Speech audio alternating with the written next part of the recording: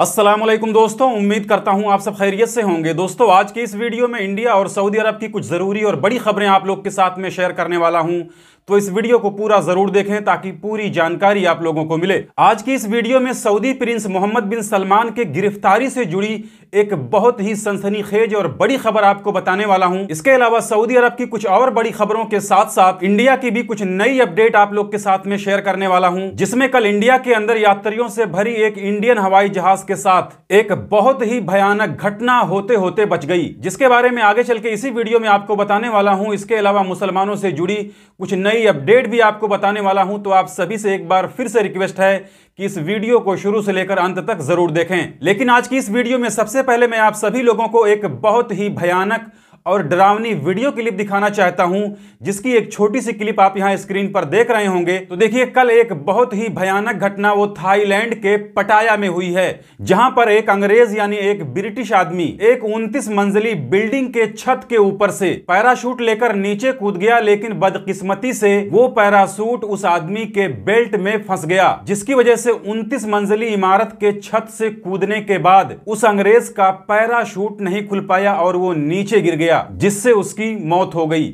इसके अलावा अब बात कर लेते हैं इंडिया की कुछ नई खबरों के बारे में, जिसमें सबसे पहले मैं आप सभी लोगों को मध्य प्रदेश के इंदौर की एक घटना के बारे में बताना चाहता हूँ, जिसमें एक 26 साल के बहुसंख्यक समाज के शख्स ने मुसलमानों को फंसाने की कितनी बुरी साजिश रची थी। उसकी तस्वीर आप यहाँ स्क्रीन पर देख सकते हैं। इसके बारे में बताया गया है कि मध्य प्रदेश के इंदौर के अंदर एक मंदिर में रखे शिव की मूर्ति को तोड़कर वहाँ पर हिंदू मुस्लिम के बीच में तनाव पैदा करने की कोशिश की गई, जिससे उस इलाके में तनाव भी पैदा हो गया, लेकिन पुलिस ने जब इस मामले की जाँच करनी शुरू की तो पुलिस की जाँच में पता चला कि शिव की मूर्ति तोड़ने वाला कोई मुस्लिम नहीं, बल्कि 26 साल के गज्जू चौहान नामक एक बहुसंख्यक समाज के शख्स ने ही तोड़ा था। तो अब देखिए, गज्जू चौहान के घर पर बुलडोजर चलता है या नहीं चलता है, इसके अलावा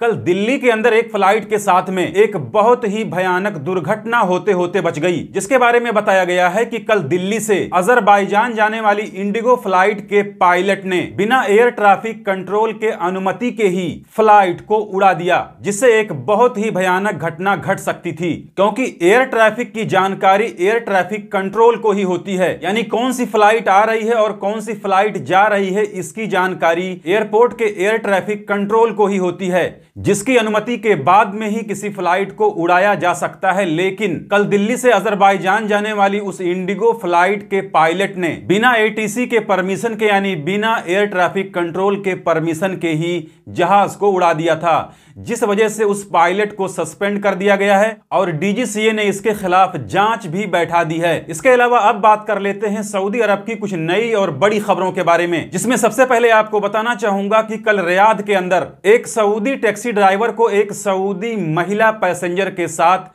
छेड़छाड़ करने के इल्ज़ाम में गिरफ़्तार किया गया है। तो देखिए, इन्हीं हरकतों को देखते हुए परसों सऊदी पब्लिक प्रोसिक्यूशन ने एक वार्निंग देते हुए कहा था कि सऊदी अरब के अंदर किसी का शारीरिक या फिर मानसिक उत्पीड़न करना बहुत बड़ा जुर्म है, जिसके लिए एक मिलियन रियाल का जुर्माना और दो साल की जेल की सजा हो सकती है। तो इस सऊदी ड्राइवर के ज़रिए की गई हरकत भी इसी कैटेगरी में आती है। इसके अलावा कल जेद्दा में एक गोदाम के अंदर अवैध तरीके से, यानी इलीगल तरीके से चलाई जा रही एक गारमेंट फैक्ट्री पकड़ी गई है। यानी कुछ लोग बिना लाइसेंस के गैर कानूनी तरीके से जेद्दा के एक गोदाम के अंदर चोरी छुपे कपड़ों के सिलाई की फैक्ट्री चला रहे थे। तो जैसा कि आप सभी लोग जानते हैं कि सऊदी अरब के अंदर एक छोटी सी सिलाई की दुकान खोलने के लिए भी हुकूमत से लाइसेंस जारी करवाना पड़ता है। और सऊदी अरब के अंदर बिना लाइसेंस के कोई भी बिज़नेस शुरू करना कमर्शियल फ्रॉड के जुमरे में आता है, उसकी कैटेगरी में आता है, जिस पर बहुत ही ज़्यादा जुर्माना है। इसके अलावा अब बात कर लेते हैं पिछले दो दिनों से पूरे अरब मीडिया में चलने वाली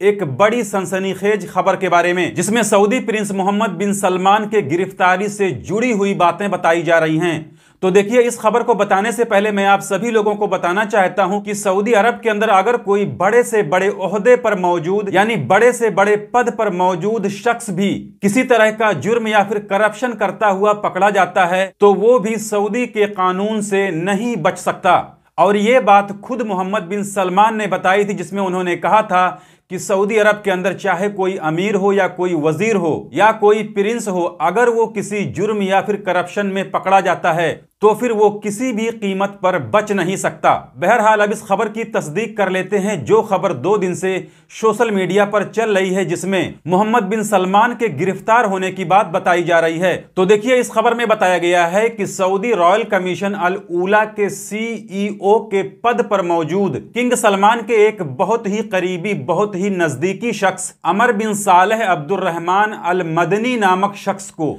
55 मिलियन यूएस डॉलर के करप्शन के इल्ज़ाम में गिरफ़्तार किया गया है, क्योंकि अमर बिन सालह ने रॉयल कमीशन अल उला का एक 55 मिलियन डॉलर का ठेका एक ऐसी कंपनी को दे दिया था, जिस कंपनी में अमर बिन सालह खुद एक पार्टनर था, यानी खुद उस कंपनी का हिस्सेदार था, भागीदार था। और इसकी जानकारी जब सऊदी नजाहा वालों को हुई, यानी सऊदी एंटी करप्शन अथॉरिटी को हुई तो फिर उन्होंने इसकी जाँच करनी शुरू की। और उस जाँच में अमर बिन सालह के साथ साथ कुल चार लोग दोषी पाए गए। और उन्हीं चार लोगों में से एक का नाम इत्तेफाक से मोहम्मद बिन सलमान था, जिसकी वजह से पैसे के लिए अपने ओहदे का, अपने पद का गलत इस्तेमाल करने के इल्ज़ाम में उन चारों लोगों को अरेस्ट कर लिया गया है। तो ये थी आज की इस वीडियो में इंडिया और सऊदी अरब की कुछ ज़रूरी और बड़ी खबरें जिसे मैंने आपके साथ में शेयर कर दी। जानकारी अच्छी लगी हो